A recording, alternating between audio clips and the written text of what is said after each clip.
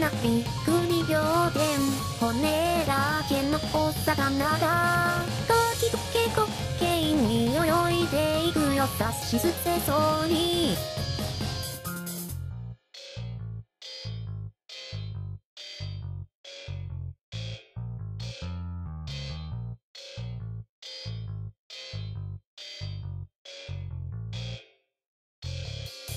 上を渦巻き加減で青くよどんだ灰色吸い込んでしまうぞ。片手運転パッパッ。転んでも死なないぞ。両手離してパッパッ。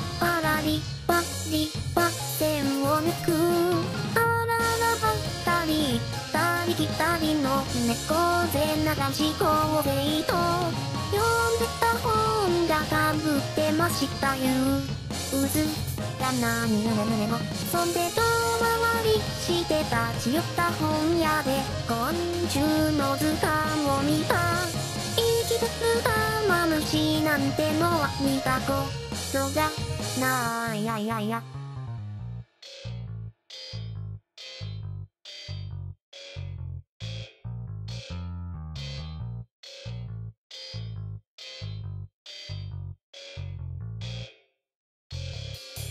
機械的にただ数を数えて開いた中身は千枚仕掛けでカラスなくなくなった。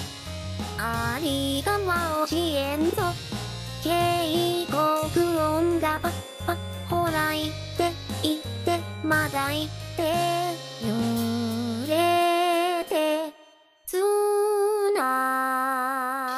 いで息を吐く。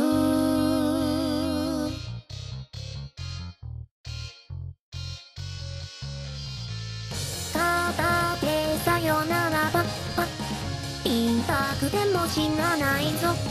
両手離して喜んだらすええてらかし出す。習ったばっかのかっこよさげな言葉を得意げに振りかざす愛になんて本当は知らないのを必死に隠そうとしています。そんでおまけでついてきたちっちゃい涙は見たいような気がしたけど彼だと案外寂しいものですね。のがではいませんけど。りますねたどり着いたのに孤独とは裏話はやぶってさえ見抜ければし消える直前見えた。相変わらずは